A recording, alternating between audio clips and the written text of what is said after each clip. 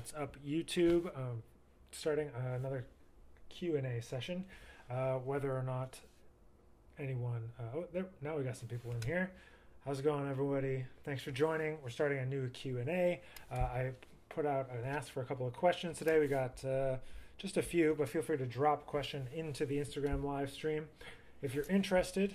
Uh, gl- glad to have you here. And um, just a couple of questions uh, that came in via the Instagram. I usually post it in my stories, so if you want to um, be able to drop in a question for these live streams, feel free to uh, follow the story and drop in a question when we ask. So um, we got four questions to go through tonight, and uh, happy Saturday, happy Saturday night. Um, just uh, glad to have a little bit of extra time tonight to be able to jump on and do a little Q and A. I'm going to try to do this every week or a couple weeks at least uh, into the new year. I'm just getting a, st- a start, a jump on my new uh, resolutions for 2020. So uh, thank you all for being here. If you're here live on the stream, I'm going to jump in here with some questions. We've got one from uh, Mick Pepper. He says, "What's your favorite ballad?" And this is a very hard question. So ballad, jazz ballad. Uh, I don't know if he was specific about jazz ballad, but that's where my head goes. Jazz ballad. There's a lot of them. If I, if I have to just pick one, I really like uh, "Spring Can Really Hang You Up" the most. That's a really nice ballad.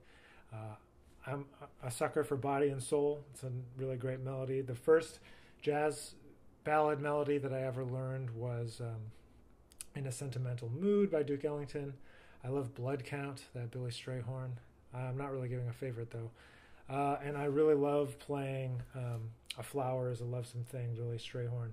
Uh, that's why it's on uh, one of my recent records, No Arrival. We played Flowers a Lovesome Thing, and I tend to play that on a lot of gigs. Um, yeah, Billy Strayhorn was just a master of melody, a master of uh, composition, and his ballads are really just uh, some of my favorites. So that's from Mick Pepper, favorite ballad, I guess.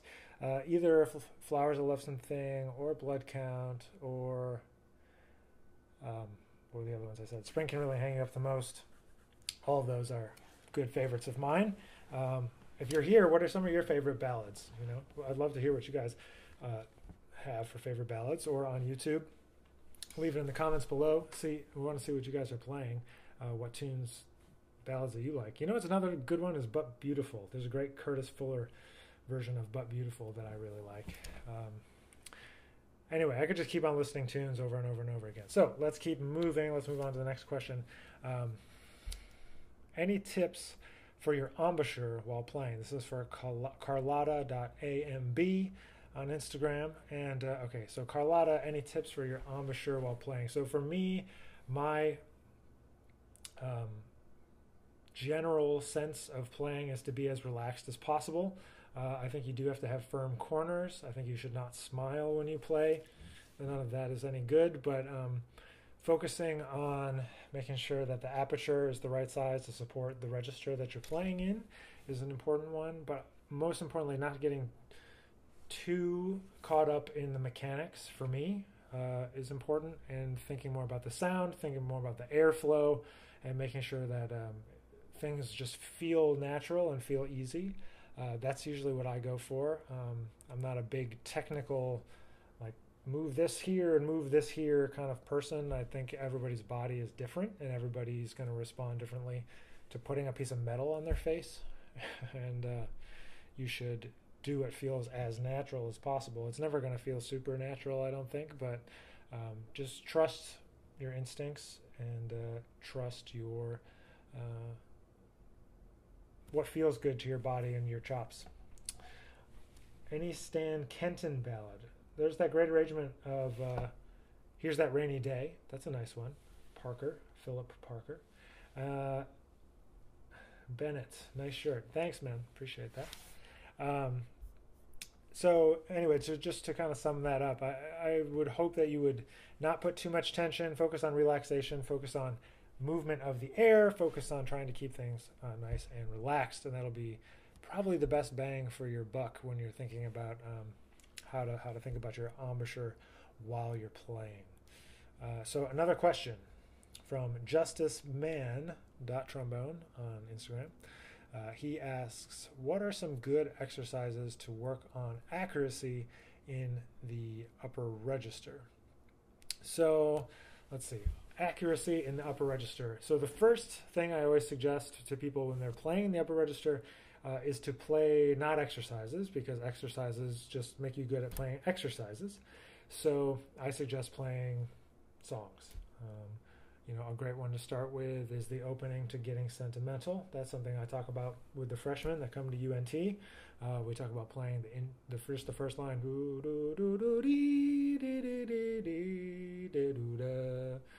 Just that part. If you can do the whole A section, even better. But um, we just talk about playing actual phrases and playing real music in the upper register. Um, and now this particular person is asking, you know, about accuracy. So in terms of accuracy, you want to pick something that has uh, leaps in it. You want to pick something that has some notes you need to pick off, some notes you need to kind of be able to hear in your head and then hit them. Um, some different exercises that I have for use for accuracy in the upper register would be you know, just picking off notes, individual notes, kind of put the horn down, pick it up, uh, and then play that note. Uh, and then other things would be to to put together some arpeggio exercises that go into the upper register, get into those high notes. Uh, don't just stay in the comfortable register. You know, if you're not sounding bad when you practice, uh, you're probably not practicing the right stuff. That's kind of where I sit on that. You should sound bad when you practice. You should be doing things that push you, doing things that challenge you, doing things that really you know stretch your ability and skill set. Um, so practice real music. You know, take an, uh, a Rochut etude or an Arban's etude. You know, play it in tenor clef, then play it in treble clef, then play it in alto clef, or just play it in bass clef up an octave, or put it in tenor clef up an octave. That'd be really really high. But um, there's just there's tons of ways you can uh, make sure that you're pushing yourself uh, to to practice the upper register in different ways. So if you're joining us here on Instagram, feel free to drop some questions. We, I've got a few that have come in throughout the day uh, for this Q&A session. Uh, if we have any other ones, we can add those in. Otherwise, we'll keep moving on these ones that are collected here.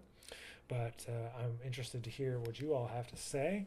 And um, so thank you to these couple people that submitted via Instagram. That was Mick Pepper, Carlotta, Justice Man, and then we have one other one that's kind of a big one.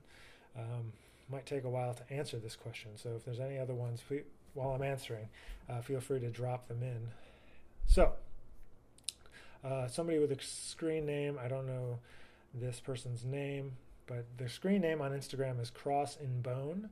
Um, he left this question he says, with regard to the limited amount of trombone gigs out there, an influx of hundreds of trombone performance majors every year graduating music college who are flooding the market, how do you prepare your students for the realities of being a freelance musician?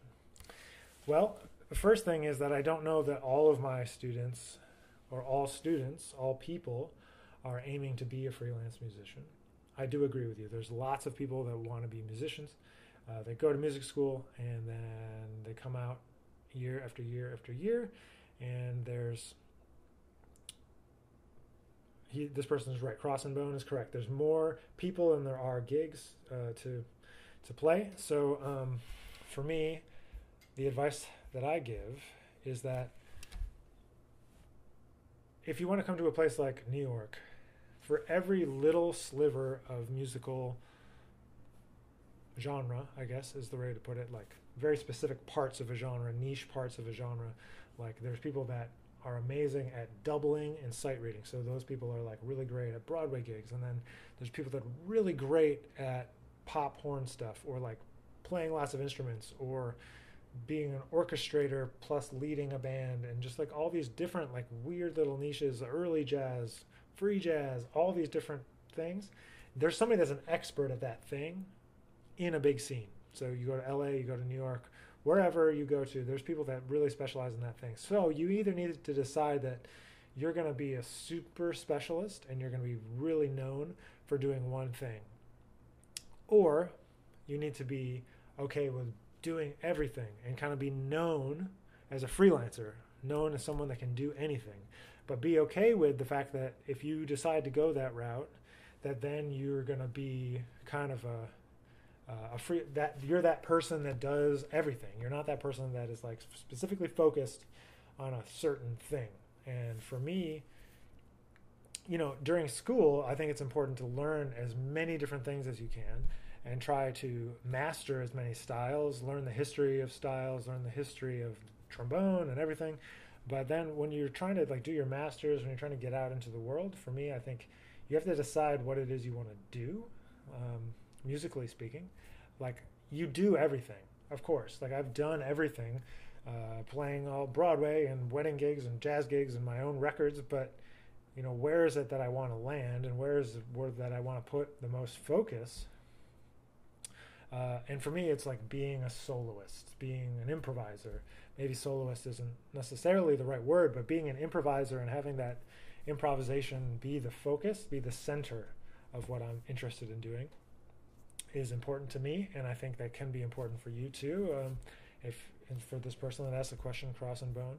Um, but the advice that I give is, you know, think about your favorite players, and you have to be able to compete with them for gigs.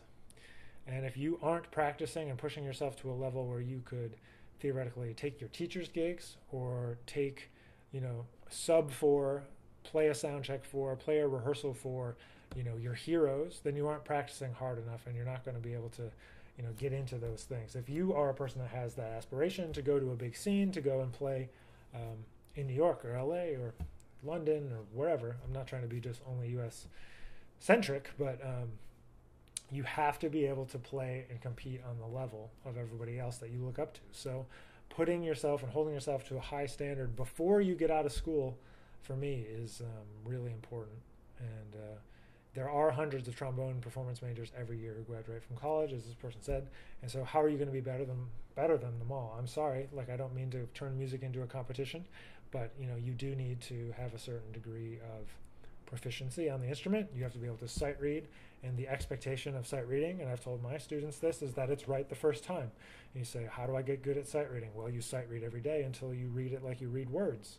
You read music, you know, like you read words. You know, the first time, not the first time, but as I played more and more Broadway shows, for example, um, the hard thing is not reading the notes. The notes is the easy part. The hard part is the coordination, is the playing with other people, with knowing what the cues look like. If you can't even read the music the first time, you've got work to do. You know what you need to be working on in order to be that freelancer, you know. And for me, I kind of focused on being a more of a jazz player than a freelancer that did classical and jazz. You'd have to ask someone like Alex Iles. Alex Iles does that super super well crossing genres. Andy Martin, I know, does some of that stuff too, like out in LA. But for me, I've always been focused as more of an improviser, focused as more of a person that wants to uh, be able to focus on improvisation. So that's the answer to that question.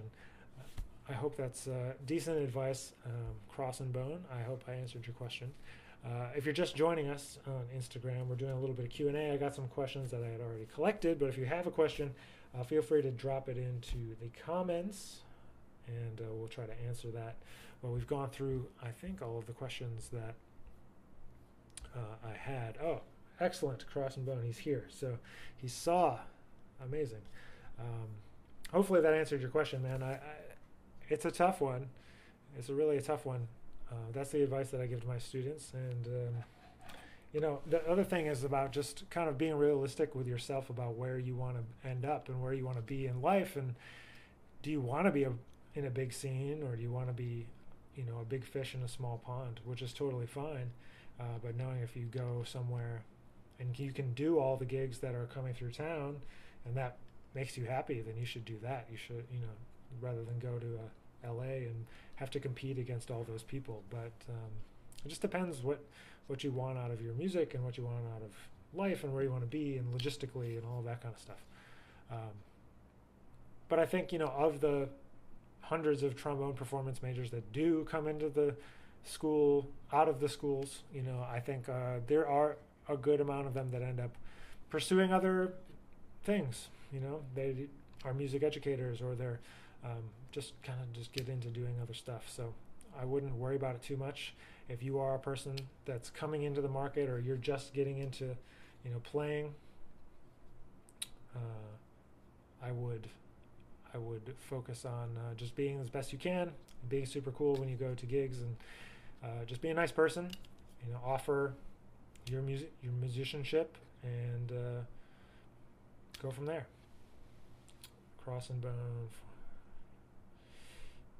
Yeah, you're very welcome. Uh, this is just one person's opinion. I'm still a young person, um, so I, you know, my perspective is definitely skewed in that way.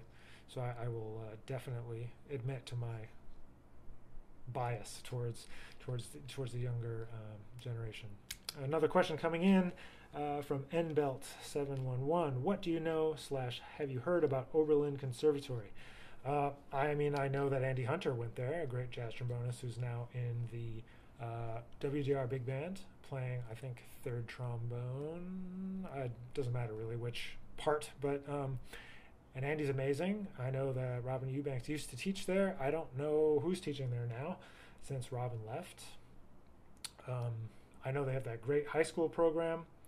Um, I know that I know that's a liberal arts college. I know I've run into a lot of musicians in New York who are from Oberlin, and I think that they do a great job of educating people. And I think I've, I believe it's also a liberal arts school, so you can do some other stuff other than music. I think. Uh, I'm not an expert on all colleges, so you might want to look it up if you're interested in Oberlin. Um, there's a lot of great musicians that have come from Oberlin, so if you think are thinking about that as an option uh, for your schooling, future schooling, and I know they have a great summer program, and I know they have a high school. Um, I don't know if it's a boarding school or they have a high school program where people go uh, and I think live there, kind of like conservatory style, and focus on studying music. So uh, I think it's a great way to be able to focus on music at a young age. So Oberlin, uh, definitely worth checking out. Thanks for the question. That's nbelt711. Thank you, man. Appreciate that. And uh, another question here. Feel free to drop in a question if you have any. Uh, but this is from Johan. How important is it to be able to play the piano as a trombonist? Well, um, in terms of performance, probably not that important. But in terms of learning harmony and being a single note player, it's extremely important. And, you know, I tell my students this all the time. The first time I went to Wycliffe Gordon's house, who's great jazz trombonist, if you know Wycliffe Gordon, um, when I was in college. So I used to drive from Eastman down to New, down to New York to have a um, to have a um, sorry lesson uh, we the first thing he would have us have me do was play a couple things. Then he's like, "All right, can you play all the things you are on the piano?" I couldn't do it, and we spent the rest of the lesson him just showing me a few things about the piano. Um, so it is important, and because uh, as a single note player, you don't get the visual, you don't get the uh, understanding of harmony, hearing and playing and feeling the vibrations of the harmony. Uh, the more piano that I've played in my studies, um, I feel like the better my ears are, the better I can hear harmony because you've played it before. I think there's a connection between playing harmony and hearing harmony. And so the more that you can play the piano, at least on a very basic level in terms of jazz, in terms of playing through tunes, roots in the left hand, third and seventh in the right hand, sing the melody and just go through tunes that way, that gets you, you know, 80% of the way through hearing and understanding and processing a tune. Uh, obviously, you there's levels way beyond that that you can go. But as a general starting place, if you're learning songs, trying to get better at playing jazz and playing harmony, that's the first step for me. Roots in the left hand, third and seventh in the right hand, and just kind of go from there. So, um, happy practicing uh, with your piano skills. Uh, for but for anyone, anyone that's trying to to learn learn piano, learn trombone, jazz, harmony, etc learning piano is super important. So, uh, Johan, I hope you jump in and learn some piano. Um, and let's see, have you? Let's see. Uh, Christian here says, "Have you ever soloed in eighth position?" Well, he probably meant that as a joke, but I would be lying if I said I never dropped my slide off the stage. Uh, there, there have been times where, and I'm sure there's a few people. I don't know if they'll make it to this point in this live stream, or this YouTube vi- video that this will become eventually, but uh, that can verify I will not name any names, but they could verify that I have dropped my slide and soloed in eighth position, as Christian asked. Uh, but anyway, thank you all for being here. If there's any more questions, jump them, uh, drop them in here in the Instagram. We've kind of gone through all of the questions that we had pre-populated. Uh, oh, one more coming from Instawan99. Thanks for asking the question. He says, uh, "What separates the pro uh, from the amateur?" That's a good question. Um, I've had this conversation before, actually. Uh, it's not the first time I've seen this question. I think a professional versus amateur musician is someone who can demand monetary resources for their musicianship. That's a pro.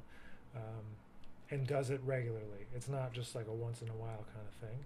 It's uh, a professional musician is somebody that lives their life making a living through music. And that I don't think that means that it has to be exclusively through music, personally. I mean, different people probably have different opinions, but I don't know that you have to be making music all the time to be a professional musician.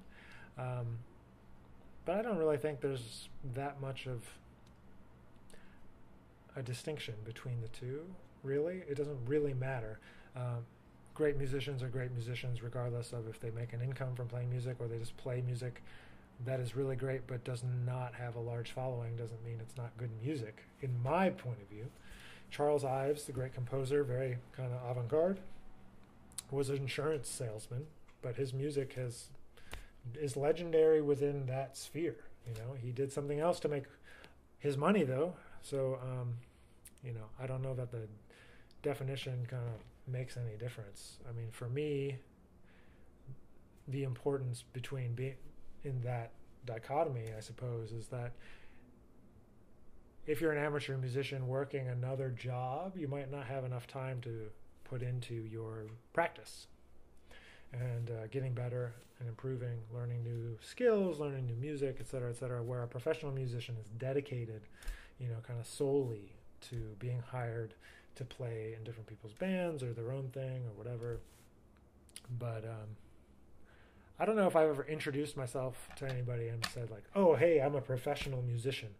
Um, I don't really, I don't, really um, identify that way. I think I identify as uh, uh, I'm an improvising jazz musician and professor, and I run a, a, a content media company, record label, and so I, I don't know that being a professional musician is really as kind of black and white as it used to be, maybe, or maybe it never was. I don't know. But uh, and I think at different points in your career, someone might be more quote unquote professional or more amateur or whatever. But um, it's an interesting question, and uh, one that I hope. I think we need more people that are willing to be open to that, you know, fluctuation you know, there's a lot of this was directly related to the last question, the question about all of the jazz majors and trombone majors that come out into the world. Um, those people are people that appreciate music, and we need to embrace those people and not isolate them and make them feel bad if like they think, oh, I'm going to go and follow this other passion that's not music. You know, there was a a bass player that I went to Juilliard with. Uh, who decided to pursue something else.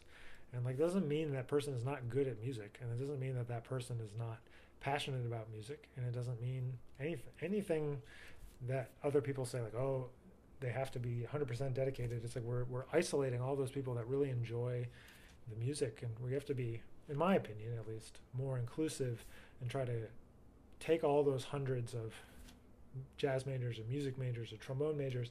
They go out into the world and try to embrace them and have them enjoy our music uh, for the rest of their lives too. To me that's what's important. Uh, not that every single music major ends up as a quote unquote professional musician. There's a lot of industry out there related to music that needs people that are passionate um, and just the world that needs an appreciation for culture. So if all of those people can be advocates for um, music, arts, etc. I'm all for them coming to college and being music majors, etc. They don't necessarily have to be professional or amateur. That's just my opinion. So thanks, Juan, for the question. And uh, really, all of you, thank you for being here. Um, I'm glad to be able to go through these questions. And like I said, it's my jump on my 2020 resolution uh, of trying to do this more often. I definitely get DMs with lots of questions uh, throughout the week and months, so it's good to be able to actually answer them in a public forum so people uh, can get the answers because there's a lot of repeat repeat questions about similar things. So happy to, to answer. So if uh, anyone out there in Instagram land is uh, has another burning question, drop it in now, or else we're gonna maybe wrap this up for the evening. And uh, one of our outside in music next level artists has a show tonight that I'm gonna go and check out here in New York. And then it's the holiday break. So uh, Juan, you are very welcome. Hopefully it's hopefully it's somewhat helpful. I by no means am the expert on any of this stuff, but that's just my you know my opinion and experience.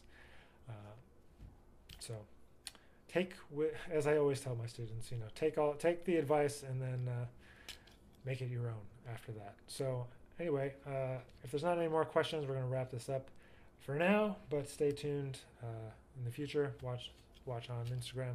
You'll find more live streams. So uh, happy holidays, happy New Year and uh, we will see you in 2020. Take care.